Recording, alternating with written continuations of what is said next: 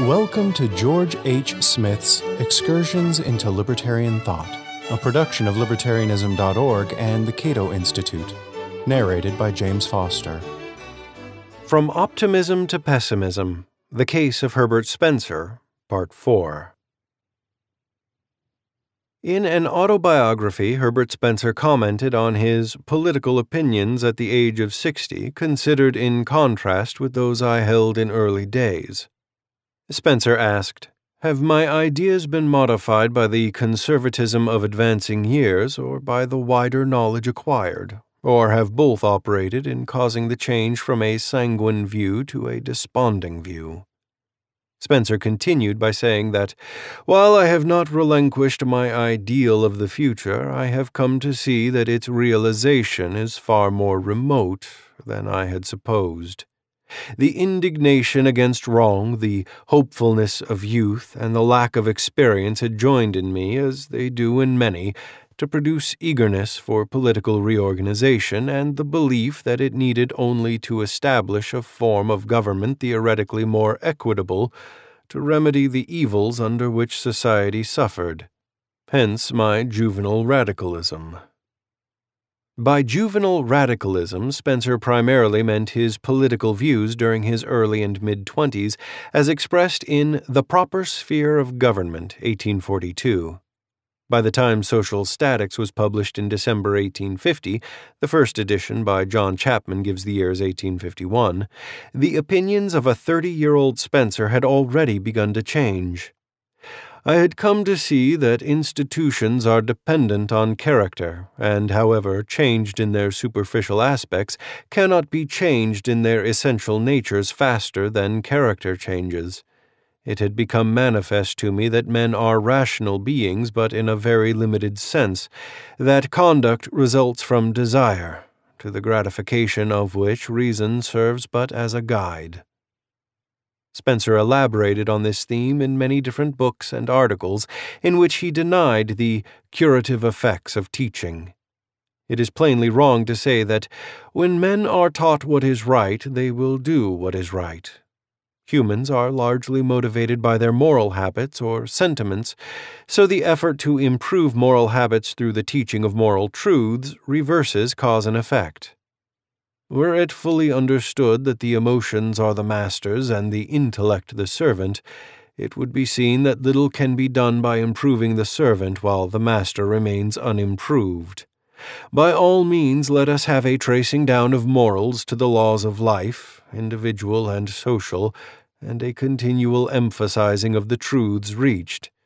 But it must go along with the understanding that only as the discipline of a peaceful social life slowly remolds men's natures will appreciable effects be produced. Spencer frequently made the same point by saying that human character, not abstract beliefs, determines the course of social change. Any ethical theory worth its salt must take the factors that influence character seriously into account. Spencer's reference to remolding human nature brings us to some difficult and troublesome features of his overall approach. It is always easier, not to mention more pleasant, to explain ideas with which one fundamentally agrees, but I have never agreed with certain aspects of Spencer's fundamental approach to philosophy and social theory.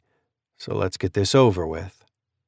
Although Spencer never expressly identified himself as a determinist, he tended to shy away from the traditional controversy over free will, largely because he believed that the ultimate nature of reality is unknowable. He was a determinist by any reasonable standard. Spencer's social determinism is evident in many of his sociological writings, and it caused significant problems when he shifted roles from sociologist to moral philosopher. For example, when Spencer discussed the early stages of social evolution, he would sometimes note the beneficial, if unintended, consequences of various wars and conquests. He regarded such activities as barbaric, of course, but he stressed that barbaric actions are normal in barbaric societies. It would be unreasonable to expect anything more. Consider the point at which conquering tribes, after realizing that more loot could be gotten from the living than from the dead, stopped slaughtering their victims and began enslaving them instead. According to Spencer, this represented an advance in social evolution, as did the later transition from slavery to serfdom. So, how did Spencer, qua moral philosopher, characterize these developments? This is where things get a bit tricky. According to what Spencer called absolute ethics, slavery and serfdom are wrong, period. But according to Spencer's notion of relative ethics, such developments were less evil and therefore relatively good when compared to the stages that preceded them. As Spencer saw the matter, slavery, serfdom, and similar developments were necessary stages in the progress to free societies, or regimes of contract, as he sometimes called them. Spencer borrowed this expression, along with regimes of status, from the legal historian Sir Henry Sumner Maine. When dealing with militant warlike cultures, it would be absurd to expect free societies to spring up out of nowhere without the necessary libertarian sentiments and ideas to serve as foundations. Spencer believed that the beneficial effects of war and conflict were a thing of the past. Europe and America had undergone crucial transitions from militant forms of social organization, regimes of status, to industrial forms of organization, regimes of contract. The compulsory cooperation that characterizes militant societies had largely been replaced by the voluntary cooperation of industrial societies. When Spencer observed later retrogressions into militant forms of society, he called this disturbing trend the rebarbarization of Europe. Spencer used the militant and industrial forms of social organization as ideal types or analytic models, while acknowledging that no society has ever embodied a pure type. But he also believed that the attainment of a purely voluntary society is inevitable given the deterministic forces of social evolution. Human nature, according to Spencer, is indefinitely variable and modifiable, so as people adapt to the requirements of voluntary social interaction, their sentiments will change accordingly. In the final stage of social evolution, not only will individuals desire justice for themselves, but most people will also desire equal justice for others, so they will favor restricting governmental powers to the protection and enforcement of individual rights. I qualified this statement with most because Spencer typically spoke of the average sentiments in a given society while noting possible exceptions. In social statics, Spencer stipulated that the principles of justice therein explained apply only to the straight man, that is, only to people who have attained the ultimate stage of moral evolution. It is at this stage and at this stage only that Spencer's law of equal freedom will become fully applicable. Every man has freedom to do all that he wills, provided he infringes not the equal freedom of any other man. This is why Spencer titled his book Social Statics. His principles of perfect justice were meant to apply to the static or stationary stage of social evolution, the ultimate stage in which we will find morally perfect human beings. His principles of justice were not meant to apply, at least not in a strict sense, to the dynamic transition from an imperfect to a perfect society. In the perfect society in which the sentiments of most individuals will correspond to the law of equal freedom, that law will function as a principle of equilibrium and thereby prevent freedom from degenerating into statism.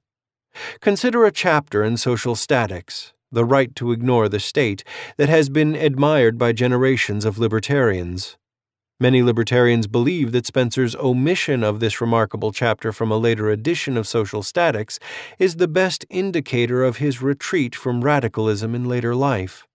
That this is a misleading interpretation becomes clear if we read the last section of this chapter.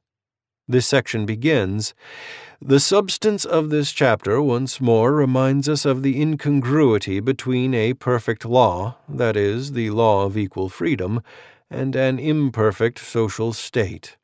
The practicability of the principle here laid down varies directly as social morality. In a thoroughly vicious community, its administration would be productive of anarchy. In a completely virtuous one, its admission will be both innocuous and inevitable. Although the inevitable progress of man's moral sentiments will eventually render governments impossible, it is also true that the tendency to repudiate governments will increase only at the same rate that governments become needless. Spencer concludes Let not any be alarmed, therefore, at the promulgation of the foregoing doctrine. There are many changes yet to be passed through before it can begin to exercise much influence. Probably a long time will elapse before the right to ignore the state will be generally admitted, even in theory. It will be still longer before it receives legislative recognition, and even then there will be plenty of checks upon the premature exercise of it. Thus, as with other matters discussed in social statics, the right of individuals to secede from the jurisdiction of a government will become operative only at the ultimate stage of social and moral evolution. This brings us to an obvious question. What is the point of Spencer's law of equal freedom if it cannot be applied to one's current social condition? Spencer addressed this question not long after the publication of Social Statics, and he repeated the same point at various other times. The absolute principles of justice, he said, are ultimate goals that function as moral beacons. They guide us in the complex world of political activities by highlighting the long range goals we wish to achieve, goals that are too often sacrificed for apparent short term benefits. If we should keep the demands of absolute justice in mind when evaluating a particular political proposal, we should also understand that a perfectly free society, though inevitable, according to Spencer, lies somewhere in the future. It is absurd to demand that the principles of absolute justice be implemented in the current imperfect state of society. This is absurd because it is impossible and it is impossible because our contemporaries have adapted themselves to the imperfect social state in which we currently find ourselves. Consequently, their imperfect sentiments will not motivate them to support the law of equal freedom, however much we may attempt to teach them about the principles of absolute justice. We may therefore preach to others as much as we like about the value of liberty, but with the exception of a relative handful of people who understand the importance of ideas, our preaching will fall on deaf ears. Not until freedom has progressed to the point where people can experience the beneficial or harmful effects of their own actions, while understanding that government will neither deprive them of the fruits of their labor nor save them from the folly of their own voluntary decisions, will people fully adapt to the conditions of freedom and develop the moral sentiments necessary to sustain a free society. All this will take time, of course, and time was the factor that essentially differentiated the early optimistic Spencer from the later pessimistic Spencer. As Spencer put it at the conclusion of the discussion in an autobiography that I quoted at the beginning of this essay, human nature must be better than it at present is before a much higher civilization can be established though I believe that, in the words of the song, there is a good time coming, it now seems to me that the good time is very far distant. Some readers may feel frustrated by Spencer's theory of social progress, and if so, I empathize with them. But such is the nature of the beast. The problems in his theory will be apparent to attentive readers, for instance, why would people with inappropriate moral sentiments pay any more attention to the law of equal freedom as an ultimate goal than they would as a proximate standard of behavior? I noted earlier the tension between Spencer qua deterministic sociologist and Spencer qua moral philosopher. There is no credible way to resolve this tension, and I say this after decades of searching for a resolution. There is a ray of light in the theoretical darkness. Like many first rate minds, Spencer's common sense frequently enabled him to overcome the logical pitfalls of his theoretical system by stepping over them as if such pitfalls did not exist. In other words, a great deal that Spencer had to say about the political world and the prospects for liberty can be abstracted from his philosophical and sociological principles and applied to problems that libertarians face today. I shall discuss these more useful points in the remainder of this series. Thank you for listening to Excursions. To learn more about libertarian philosophy and history, visit www.libertarianism.org.